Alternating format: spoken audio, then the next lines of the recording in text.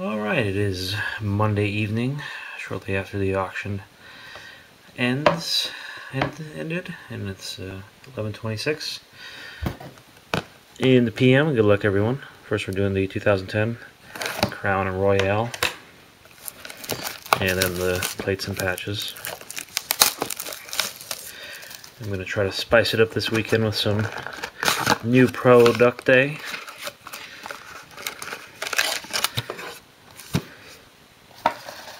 Maybe some more limited. Definitely some more certified. I like those certified ones. We'll do some more of those. And definitely the plates and patches.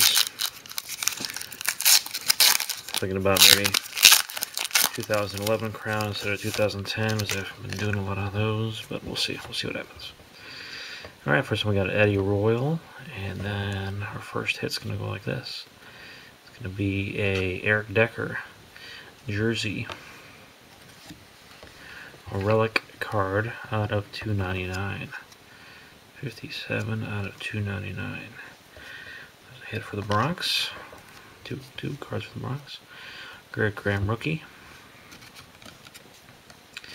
I got Willie Lanier.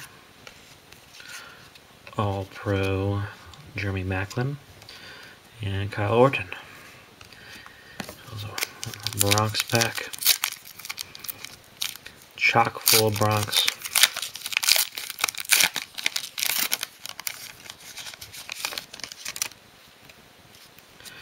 Alright, I think first auto will be under here. It usually goes like that. First auto for the Steelers. Jason Worilds. Very nice. Out of 249. Number 26 out of 249. So nice hit for the Steelers. And we got Jerry Hughes, Armanti Edwards, Steve Smith, and Joe Flacco. So one auto down, one relic down. Just gonna put the auto down here. Straight in a tube loader.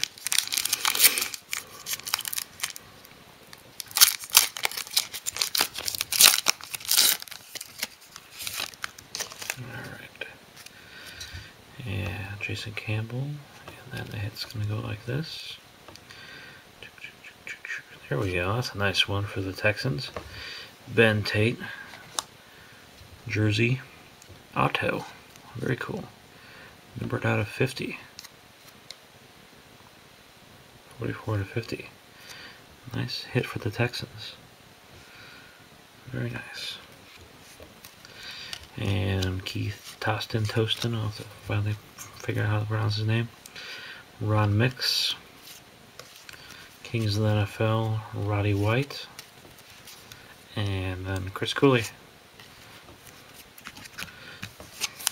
Alright. Last pack.